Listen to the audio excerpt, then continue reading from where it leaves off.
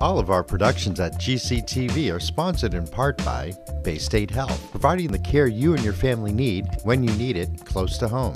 Visit them online at baystatehealth.org. Greenfield Savings Bank. Visit them at 400 Main Street in Greenfield. Call them at 774 3191 or go online to greenfieldsavings.com. Greenfield Community College, providing access and excellence in higher education in the Pioneer Valley. Visit them at gcc.mass.edu.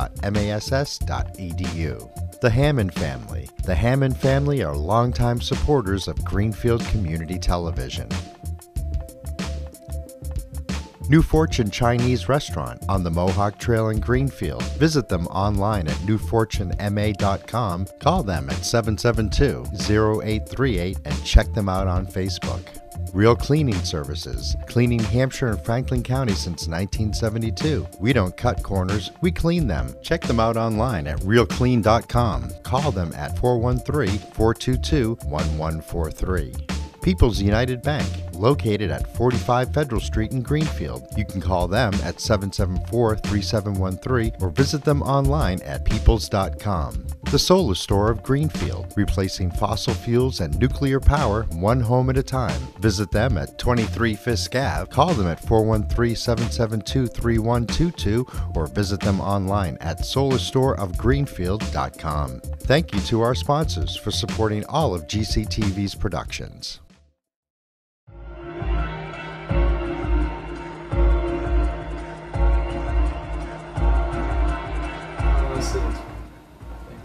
Are you ready? Yep. Good, e- good evening, everybody. I'm Andy Grant. I would love to have a conversation with you about my photography. I call it gestural photography, and I'll explain uh, in depth uh, why I refer to it as gestural photography. Um, but let me just give you some background on myself and my connection with art.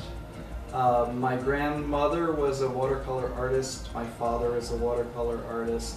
I tried watercolor. I took a class, and I just kind of froze. I think the idea of a legacy and the sense of uh, comparing what I was producing to what these others had produced was just uh, kind of stifling for me. I have always done photography. Uh, for me, when I was growing up, the um, the art department was my refuge. I could go and do art, including ceramics, drawing, painting, and photography. I learned to do darkroom processing in high school.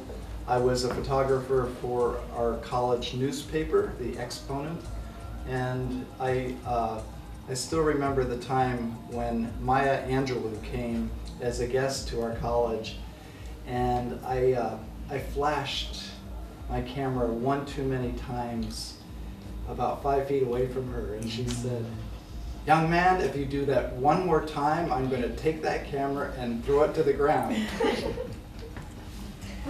so, uh, I didn't do photography for a long time after college.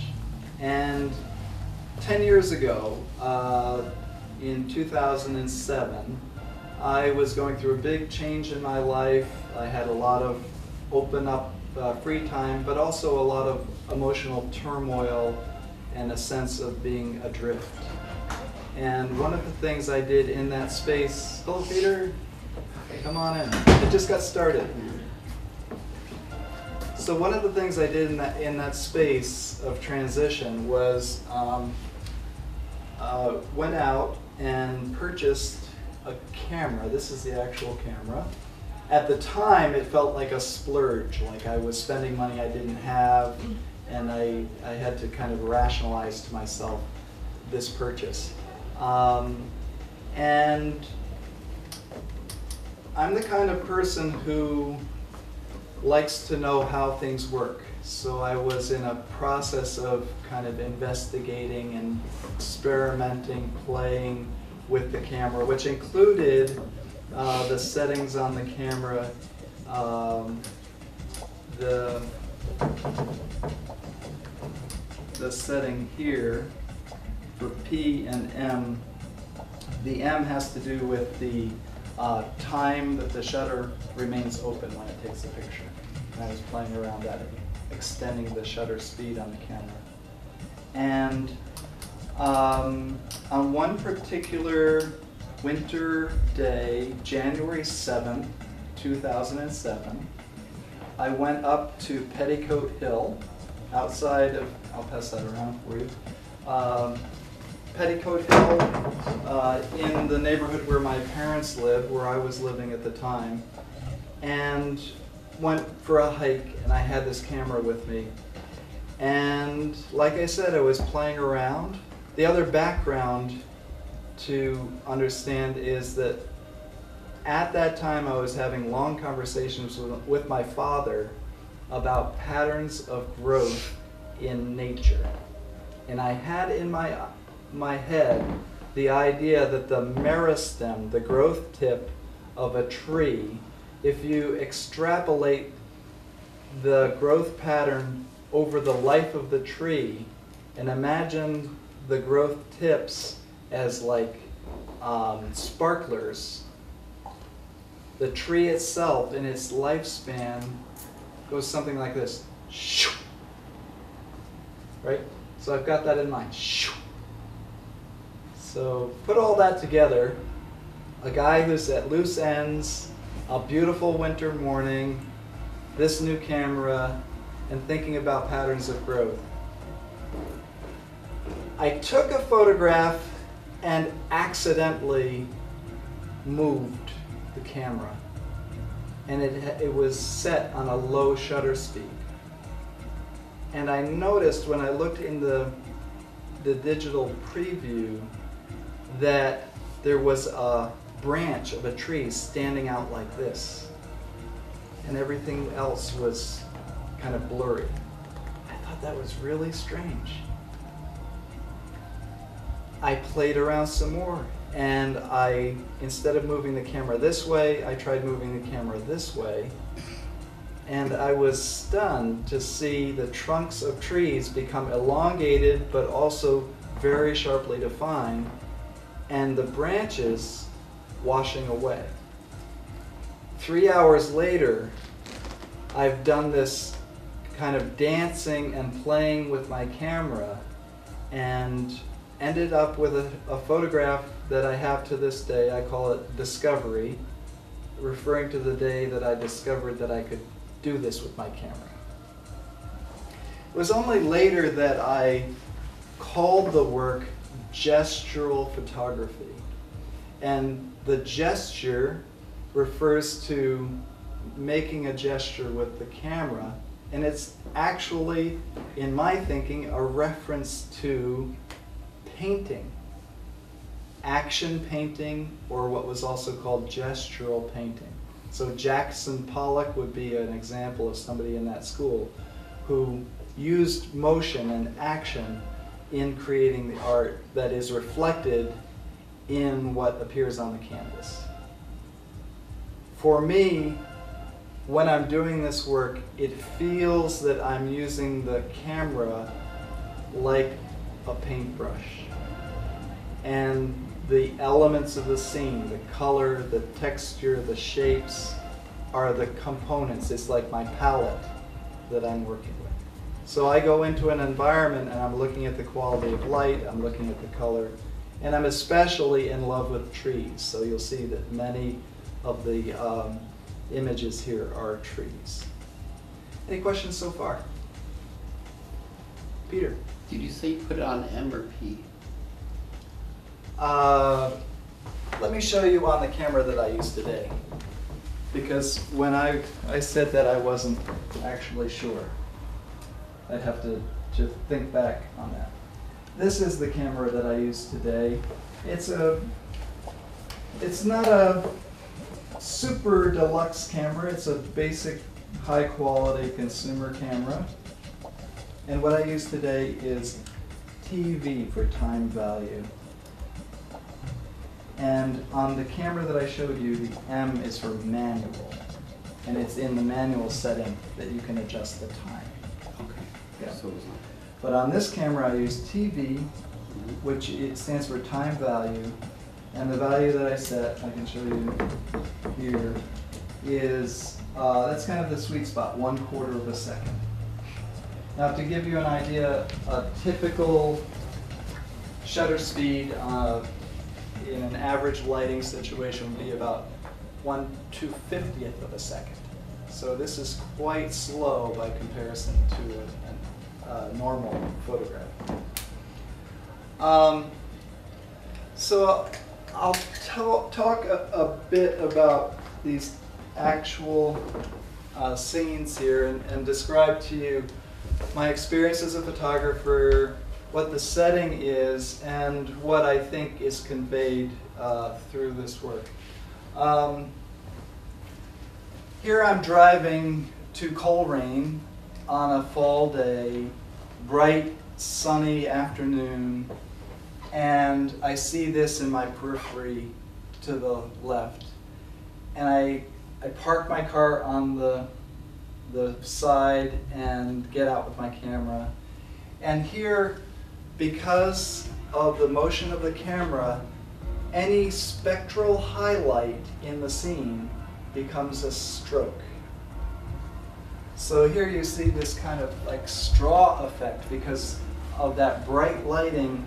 There are many spectral highlights that are just kind of bunched together and those become strokes.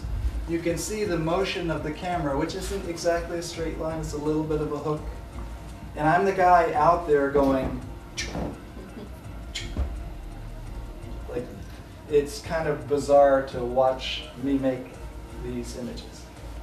Dances with cameras. Dances with cameras, I like that. Um, this comes from one of my favorite, all-time favorite days of photography ever. Uh, Pemaquid Point in Maine is a favorite place of our family to go. This particular day, there was a steady breeze coming in, but it wasn't overpowering. And the waves were coming in with great intensity, but not so much that it was dangerous. And there was a dome of gray overhead, which was a good lighting condition, nice even low, light for me. I had a large lens on the camera, bigger than that one, and a, a, a density filter, the, the darkest density filter that I have. So if I were to shoot here, it would look black with that filter on. But with in in the middle of the day with the ocean, it was perfect.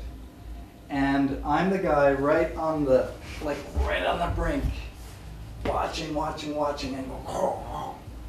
And here, with these, I'm thinking tree. Like here, I'm thinking tree. With this, I'm thinking wave.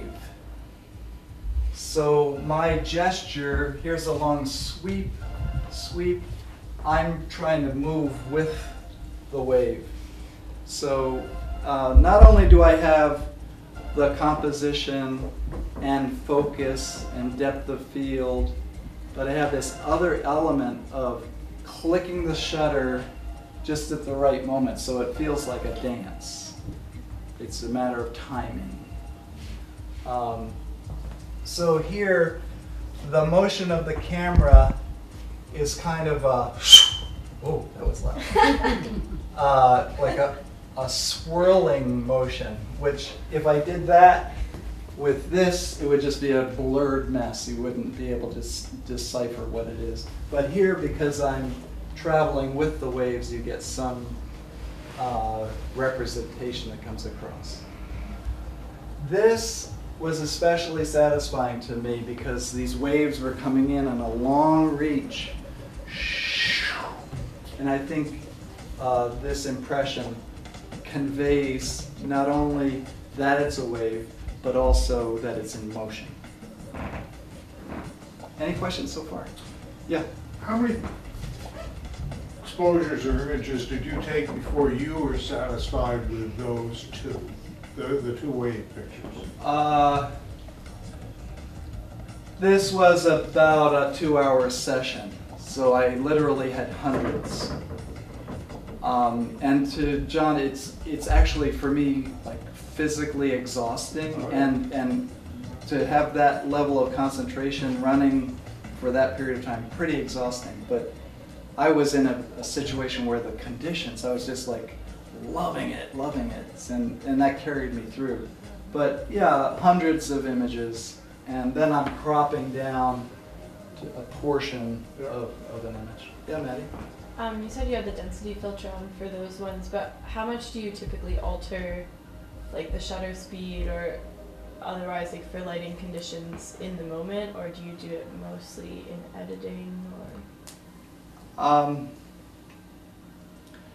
I I have enough controls on this camera so that I can uh, create this kind of a built-in density filter in the camera, so I can knock it down and and pretty much photograph in any mm-hmm. level of light. When I started with the other one, I would only shoot in the edges of the day, so very early morning or toward dusk, because otherwise it was too bright. But I don't have that issue anymore. So you don't alter the shutter speed for lighting at all. You just use that. I do. A quarter of a second is like the sweet spot, but I'm I'm sometimes going on one side of that or the other, depending on how much light, low light or or intense light. Yeah. Uh, so this is I call this Bright Ridge, and it's at Woolman Hill, just just above Woolman Hill. An afternoon again, and the light. I was talking to Maddie about. Um, a, a family trip that informed how I shoot trees. It was actually a canoe, we paddled canoes up the Pemaquid River in Maine through large uh, stands of, of reeds. And we got to look at the reeds from all sides. And I noticed that when the light was behind, the, the reeds stood up very brightly, but they looked flat. And likewise, when the sun was coming this way, they were in silhouette but very flat.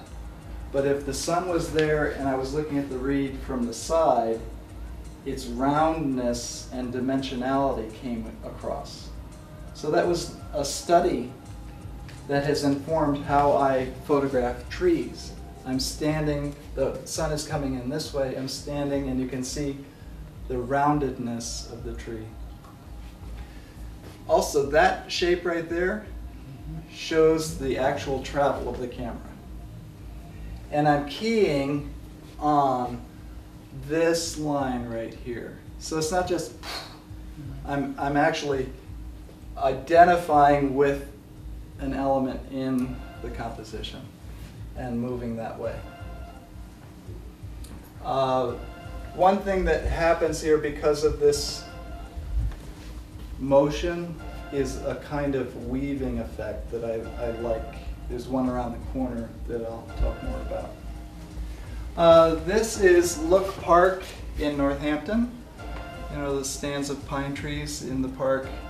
And they have a fungus on them that actually turns the surface a reddish purple color. And here these trees are standing in silhouette. So this demonstrates what I was talking about, about flatness.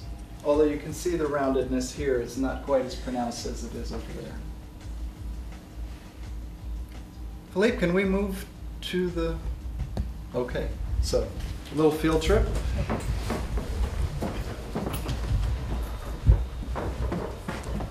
Do you mind if I tip the lights?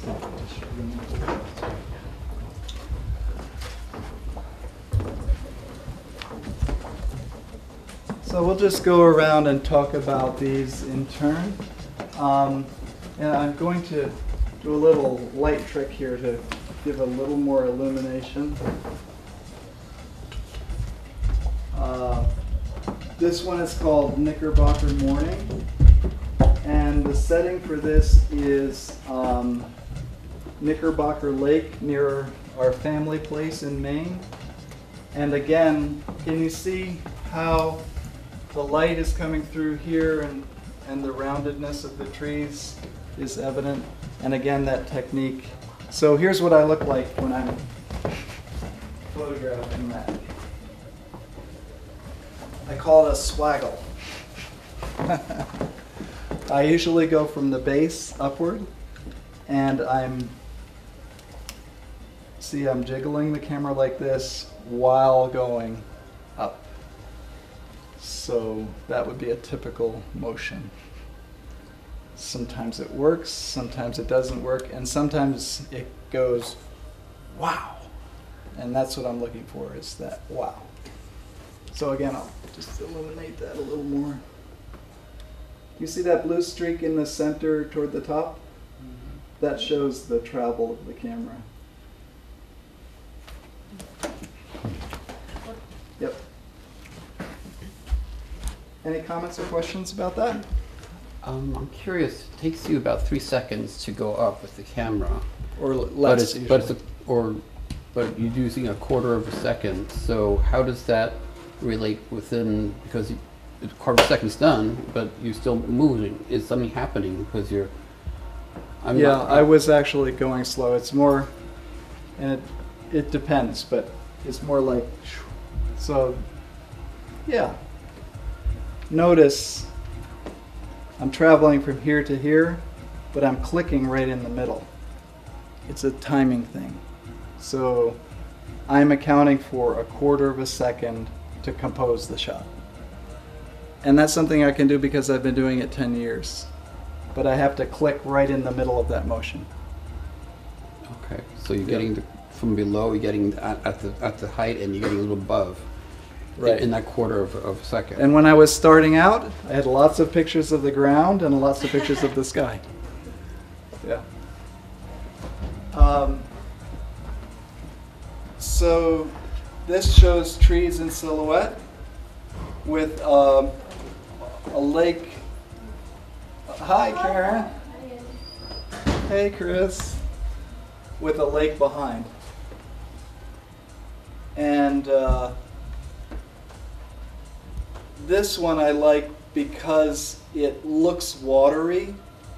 There are some, sometimes the effect creates the illusion of a screen or a scrim, and this, this moves in that direction.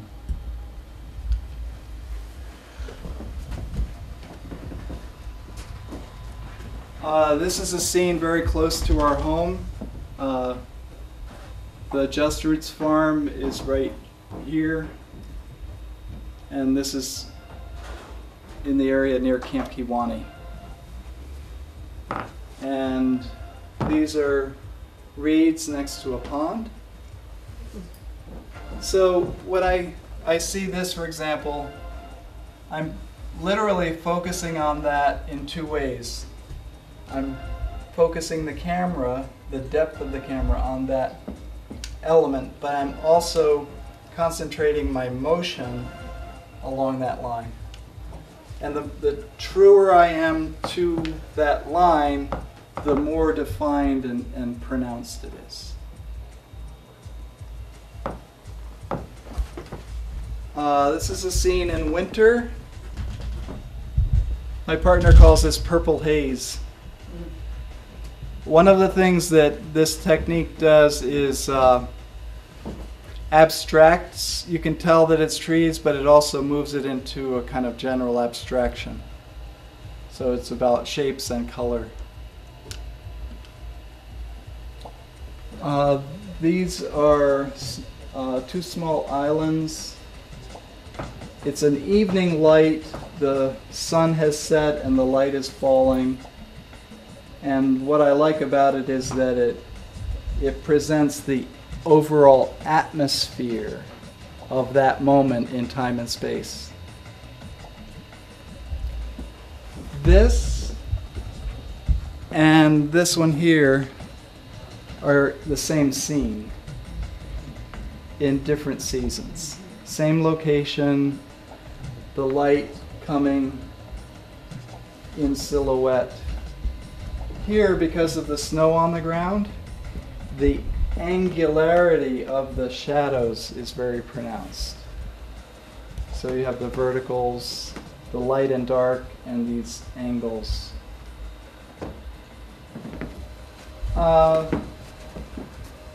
this one, I was telling Philippe the story of, about this one. I had climbed Mount Greylock and came down at the end of my climb and found this huge expanse of young birch trees. And I didn't have my camera. So I drove all the way home and came back the next morning and just had a wonderful time. Now, one thing about the motion, again, uh, just just think for a moment that these are trees that have little branches that are going out, and also those little hash marks on the birch trees. Because of the motion, those are wiped away, and instead you have this kind of bony column effect, and the uh, the atmosphere, cold and warm at the same time. It has dimension, it has size and depth, and brings forward a quality. What I would say about that is that this reflects something of the essence of the scene. If you move it away from a point by point description of what it is to how it feels, or the life force energy that is in that time and space, that's what I'm going for. That's exquisite. Thank you.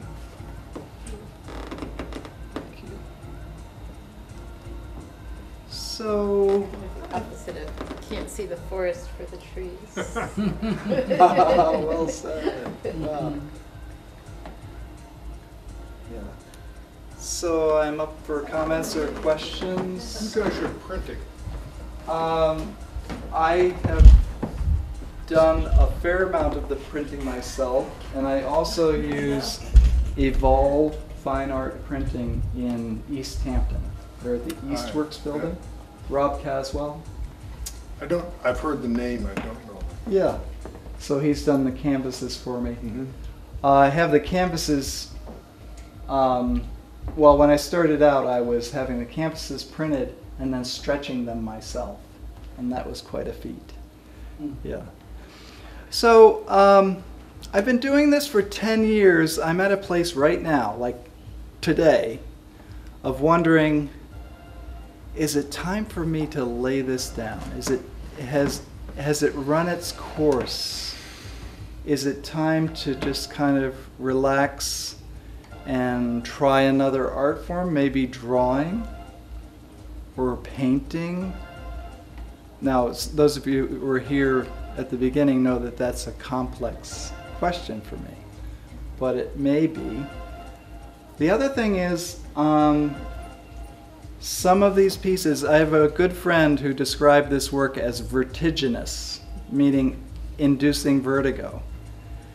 And some pieces have that effect more than other pieces, and I've been interested in that challenge of working with the blur, working with the motion, and not causing people to feel sick to their stomachs.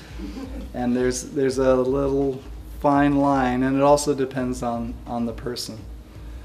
Um, yeah. How do you decide on what size to make the prints? Because I'm kind of struck by that, like, especially the oceans over there. I could imagine those being arresting it as a really large print, but Yeah. Um, well, as you can tell, I have tried different sizes and different formats. Um,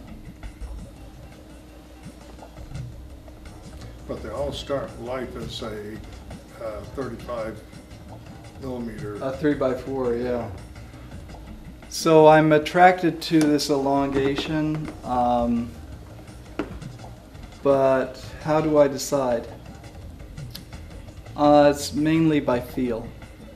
Although I do make reference to the golden section and the Fibonacci uh, sequence, which would be a little hard to explain right now, but um, yeah.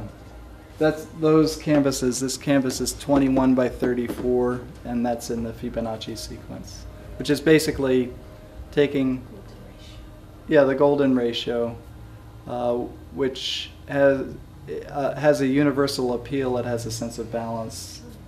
Uh, if you want to get the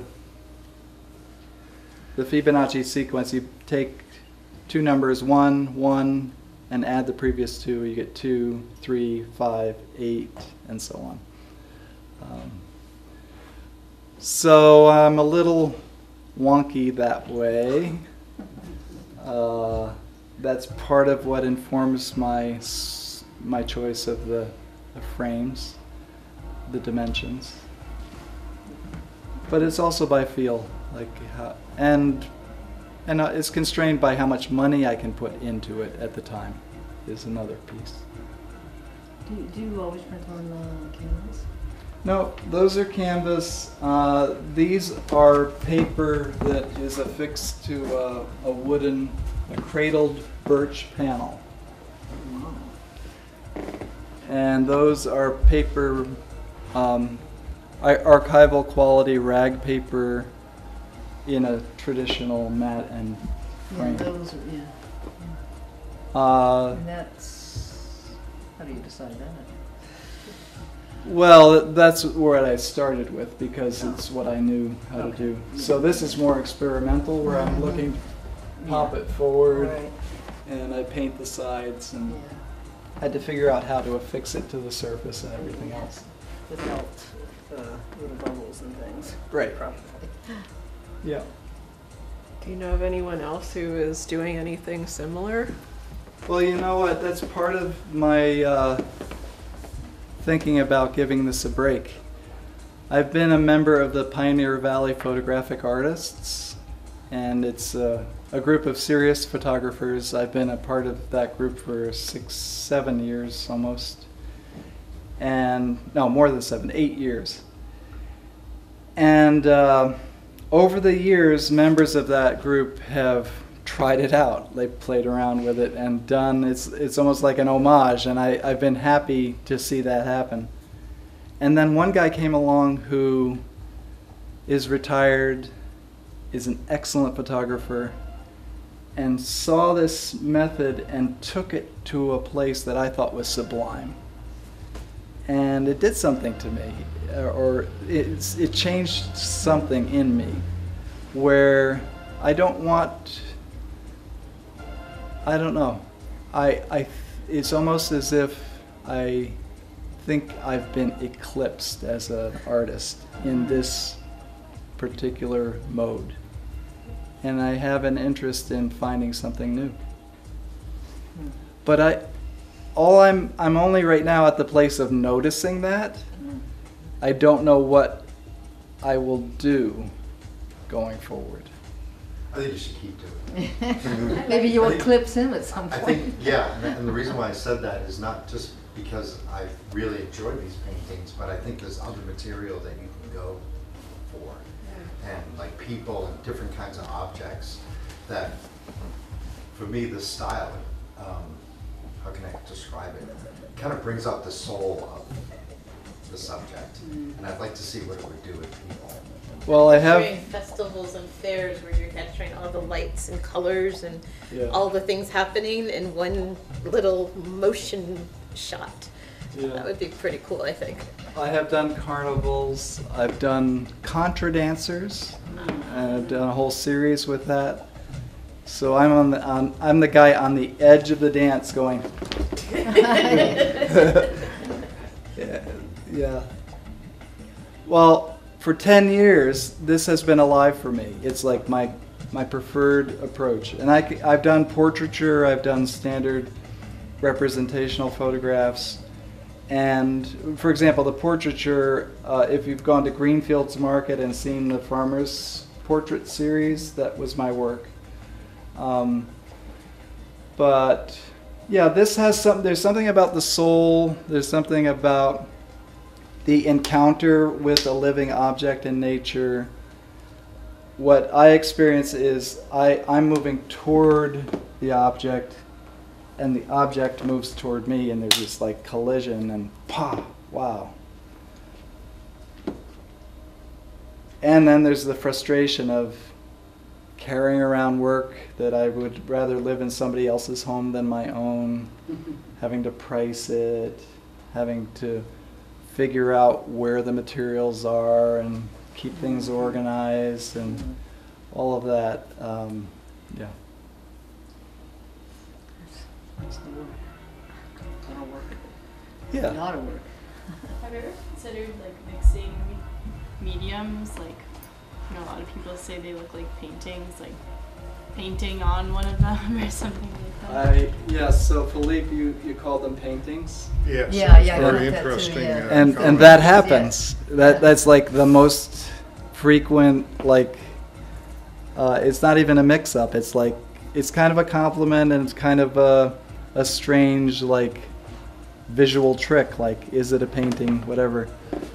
Um, well, I there are two things. I've thought about doing it, but I've also thought about saying to a a painter. Here's this. Use it as a starting point and see what happens. think I have a tree partic- blowers Could use a couple of specters for Halloween. yeah. yeah. I have the urge to. I'm, I'm not a painter, but I have the urge to try to make a painting that looks like your photograph. like it just feels like it Well- must be able to be done. That is a curiosity I have. If I went to painting, would I be looking for these effects in the painting? Hmm. I don't know. Mandy. All right, thank you. Good to see you both. You want some fruit or cookies? No, no, I'm just saying. Okay. Well, thank you very much for coming tonight and for your attention and questions. Anyone want a last word? Well, you mentioned Camp Kawani, Yeah. that that's in your neighborhood. Yeah. We must be nearly neighbors. okay. I live up on Barton Road. Oh yeah. Yeah. So I, I live in the old poorhouse. Oh, yeah, yeah, Yeah. Hey, Cool. right next door. Yeah. Nice. Yeah. So a couple of the pieces are from that vicinity. Yeah.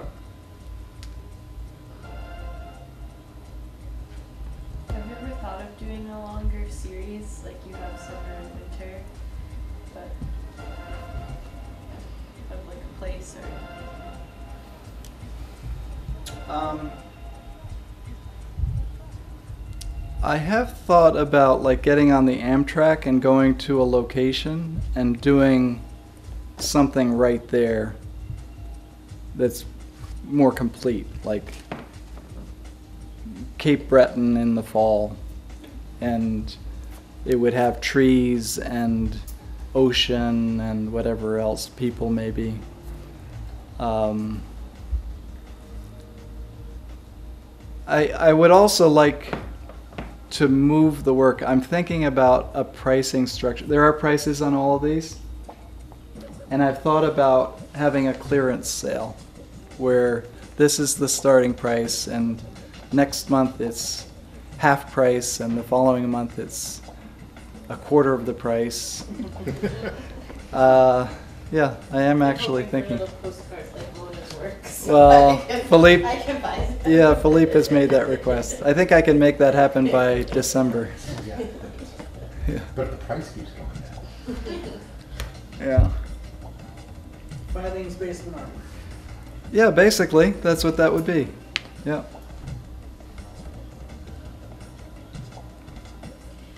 Do a. My mother is a watercolor artist. Um, I want to say Etsy, but it's it may be another site like that where um, you give this other company.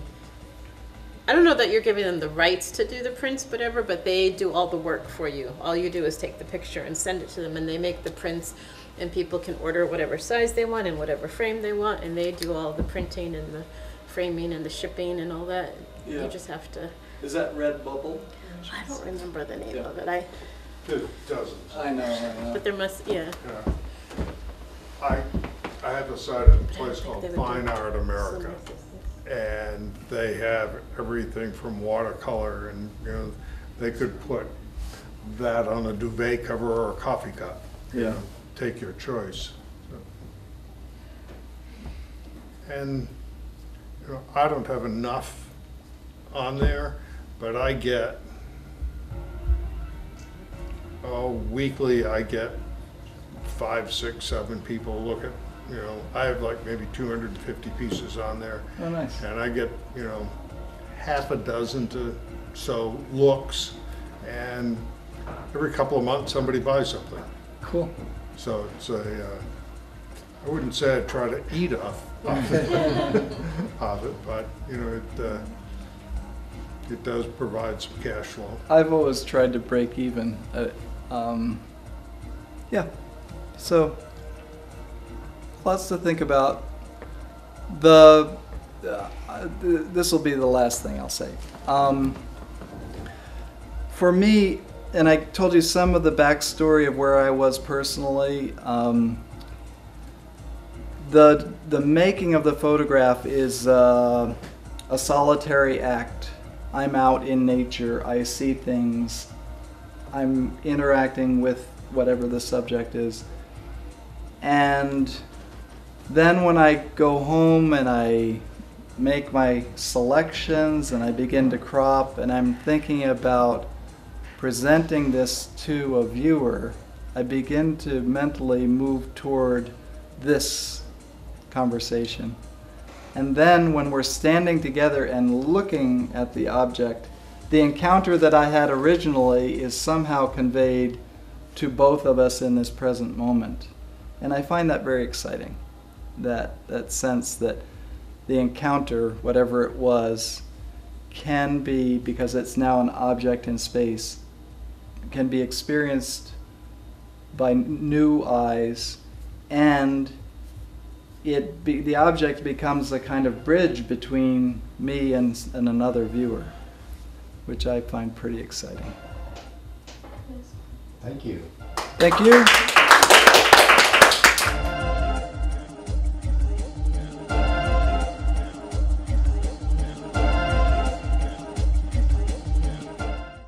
All of our productions at GCTV are sponsored in part by Baystate Health, providing the care you and your family need when you need it close to home.